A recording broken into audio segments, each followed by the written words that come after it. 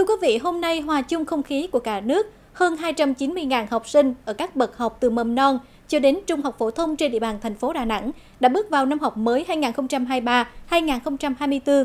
Ngay sau đây là ghi nhận của nhóm phóng viên thời sự về không khí hân hoan trong ngày đầu tiên của năm học mới tại một số trường trên địa bàn thành phố.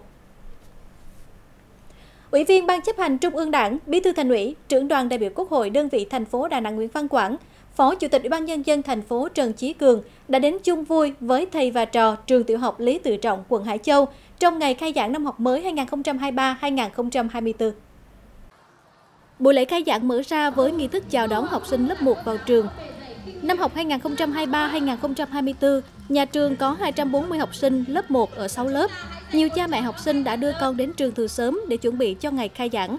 Dù các con đã có thời gian làm quen trước đó khoảng một tuần với thầy cô bạn bè, nhưng nhiều bậc cha mẹ vẫn cảm thấy bồi hồi xúc động trong thời khắc con bước vào một cấp học mới. Thấy các con là buổi sáng dậy đã dậy rất sớm là để chuẩn bị rồi, các con cũng hồi hộp, thành ra là mẹ nó cũng hồi hộp như y như các con vậy, nó cũng rất là lo lắng, không biết là con vào lớp 1 như thế nào.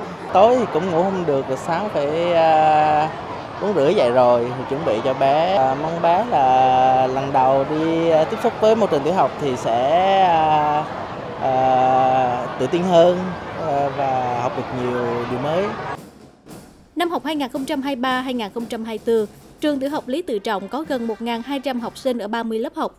Đến nay, nhà trường đã có cơ sở vật chất khang trang, sĩ số học sinh trên đầu lớp đảm bảo triển khai chương trình giáo dục phổ thông 2018.